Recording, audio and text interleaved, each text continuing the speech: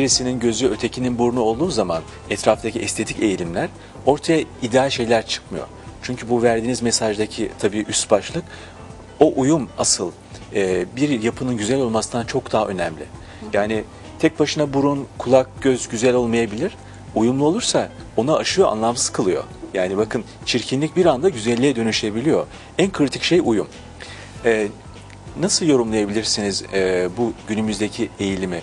E, neden insanlar izledikleri filmlerdeki aktörler ya da aktrislerin birisinin burnunu, ötekinin kulağını, ötekinin e, ağız yapısını Dudaklarını. Hı hı. istiyorlar da uyumu göz ardı ediyorlar? Yani anlamakta zorluk çekiyorum. Öncelikle bir oyuncu olarak nasıl böyle bir şey cesaret ettiklerini bilmiyorum. Yani gerçekten bizim bu çizgilere ihtiyacımız var. Onun hepsi yaşanmışlığı gösteriyor. Ve yani normal kendi yaşınızda oynanacak çok şey var. Geçenlerde biri daldan dala atlıyorum ama biri dedi ki işte zamanında aşık olunan kadınlar şimdi hep anne rollerinde. Ne diyorsunuz dediler. E dedim daha anne anne vaktim gelmedi ne yapayım yani şimdilik bu rolleri oynayacağım. Ama e, şunu demek istiyorum. E, tabii eğer insanın yüzünde çok onu rahatsız eden e, yani çok büyük bir burun bir genç kız için bir sorun olabilir gerçekten. Ya da evet bir şey yani onu onun yaşam kalitesini yükseltecek bir yardımsa bu e, gayet tabii yani memnuniyetle kullanın. İyi ki var böyle bir şey.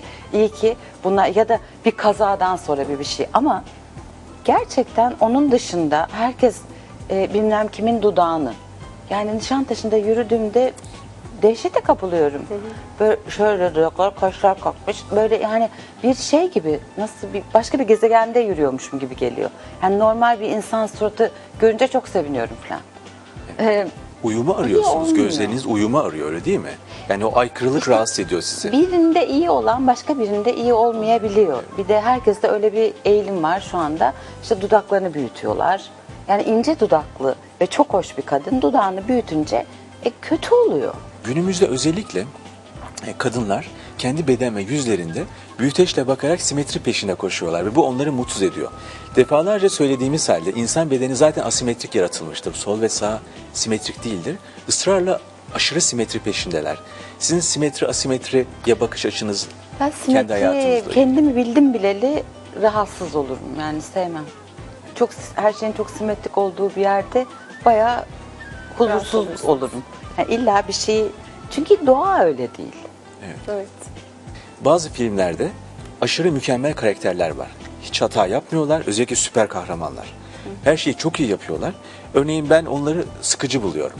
Ben daha çok ikinci karakterleri takip etmeye çalışıyorum. Daha çok hatalı insan gibi, kişilik olarak bazı ufak tefek sorunları olan, bedensel olarak da kusurlu olan karakterler bana daha çekici Buna geliyor. ayrı kutu gibi değil mi?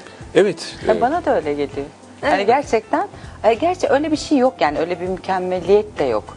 Yani onu ayrıca görsel olarak böyle bir mükemmeliyet peşine koşmak yerine daha iyi bir insan olmaya çalışmak bence çok daha Evet. yararlı insanın kendisine de çevresine de.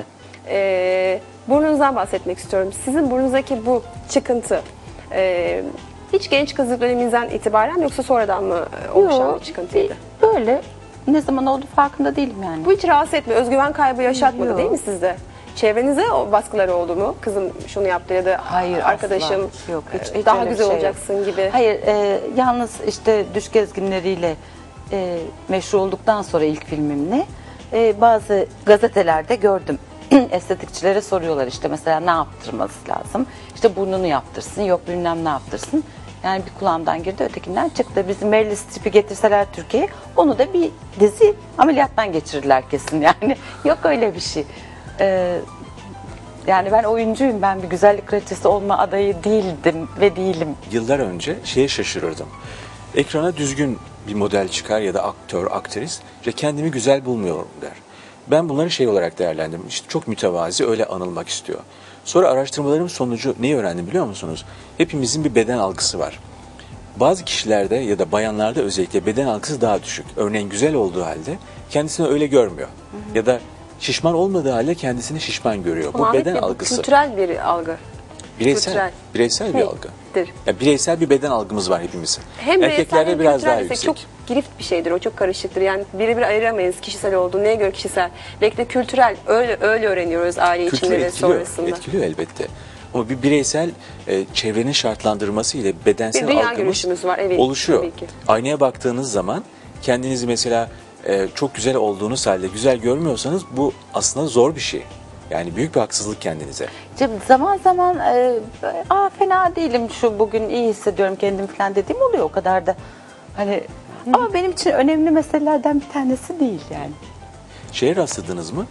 Güzel olmadığı halde kendisini güzel e, zannedenler var. Çok. Evet. On- onlarda da beden algısı yüksek oluyor. Mesela şanslı bir grup aslında. İyi de yani Kendilerini doğru çok güzel değil ki. Yani mesela benim için değil. Yani kendini çok güzel zanneden ve şöyle güzelim ben böyle harikayım falan diye anlatan tip insanlar ben hiç öyle bir şey görmüyorum anlattıklarını.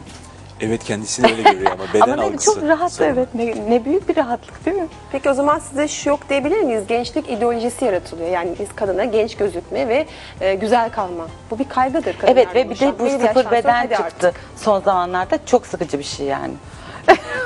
Herkes sıfır beden olmaya çalışıyor. Evet, bir şablon model var. Çok idealize edilen bir model vardır. Dolayısıyla bir kaygı yaşıyoruz. Endişe hali içerisindeyiz. Gençlik gidiyor elden ve yaşlanıyoruz ve güzel gözükmeyeceğiz. Çizgiler geliyor kaygısı. Bu yoktur E, diyebilir miyiz Lale Mansur'da? Bir dakika yani çizgiler çirkin bir şey değil ki. Yani ben Meryl Streep'in çizgilerini çok beğeniyorum. Vanessa Redgrave'in çizgilerini çok beğeniyorum. Ne bileyim bir- birçok insanın o yaş yaşının gereği neyse o bence. Ama aynı ve her yaşın değişik bir güzelliği, ve değişik bir tadı ve keyfi var. Siz- Sizle bir yerde ha- e, hak veriyorum. Hani çizgilerin anlamı var. Fakat bir de ters çizgiler var.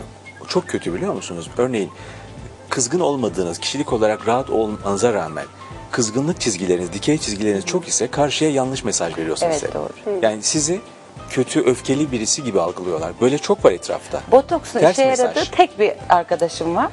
İngiltere'de yaşıyor. Çok derin bir çizgisi vardı. Ve ge- hakikaten çok böyle rahatladı. Ki kendisi de öyle gergin bir insan değil. Kendisi ona uygun. Bakın Sizin söylediğiniz o grup gibi. için Ve gerçekten çizgi ters muhteşem. olabiliyor. Evet. Başka nerede oluyor? Burada oluyor. Başka? Öfke çizgileri dudak köşesinden Arkadan. aşağı dik olur. ile karışıyor bir de. Hüzün ve öfke de karışıyor. Bir de hüzün çizgileri var.